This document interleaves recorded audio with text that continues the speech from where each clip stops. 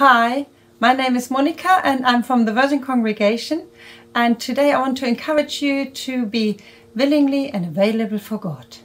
And I'm convinced that God will use this time where we can't meet um, for His good and to reach the harvest.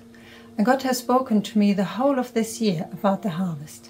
So the other day I reached out and, um, but first I prayed to the Holy Spirit and He said, ask the lady if she sometimes prays. So at the end of our conversation, I asked her if she sometimes prays because it does help me. And she said that she has prayed before and that people have prayed with her in town.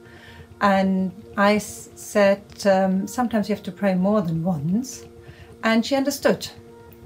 Uh, but then I went on my way, and later that day, she texted me and said, um, Monika, you're the only Christian I know.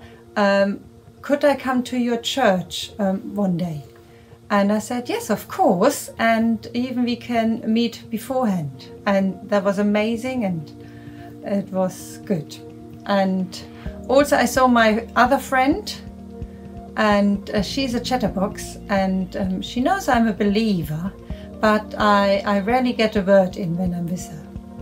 So um, that day I prayed before and the Holy Spirit said, um, just text her what you want beforehand.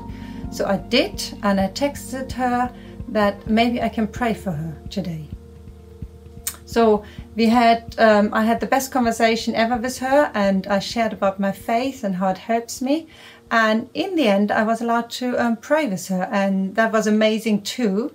And I hope I will have many more opportunities.